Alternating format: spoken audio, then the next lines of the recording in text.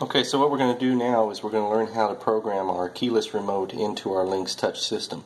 So let's go ahead and enter programming. We go to Security, we go to More, we go to Tools, we enter our installer code. If it hasn't been changed by default, it is 4112.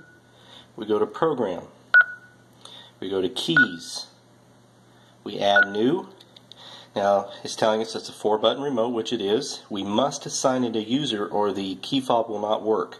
So in this particular case, I'm going to assign it to the master user. And now let's learn it in. So let's go to serial number. And we don't have to enter any numbers, just press the panic button till you get a beep. Press it again to confirm, and it is learned in. So we see that the uh, it's armed and proper. I mean, uh, it's programmed properly.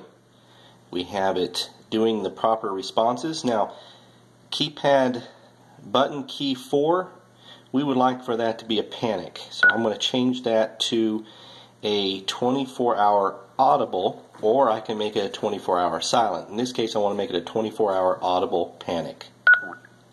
I want to hit save and now we have our first key fob. Now if you got more of them, you do this the same way. You just hit add new and you go and you make sure that you assign the key fob to a user. Very important. So that's it. That's how you program in the remote key fob.